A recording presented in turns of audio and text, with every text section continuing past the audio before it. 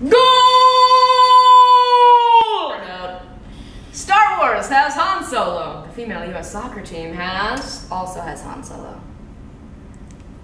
but But what? is there another name? Like that seems sort of like Solo. has Han Solo. The female U.S. soccer Hope. team has It's Hope. It's Hope Solo. Hope Solo. Hope Solo.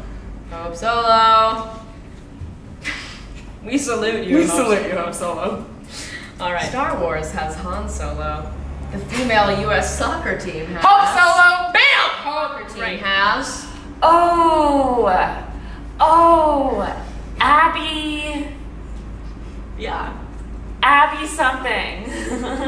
So right. Just just nailed it. Wait, I know her. Um, she's Don't a lesbian and she has short blonde hair. Do you know who I'm No, talking it's about? not who we're talking about though. You know who I'm talking about? yeah, we're talking about somebody also not named Abby. Okay, okay. Next question. The female U.S. soccer team has Who's Han Solo?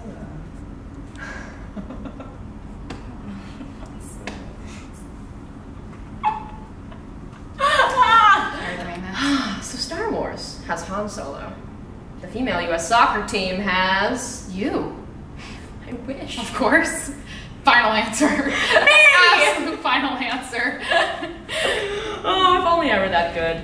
Well, yeah, no, do they have somebody who? No, no, that's that's definitely my final answer. You're like, no, I'm not. I'm No, not going to continue. no, All right, come see the Wolves. We're at Duke on 42nd Street, August 29th through September 24th. We want to see you there. Come play with us.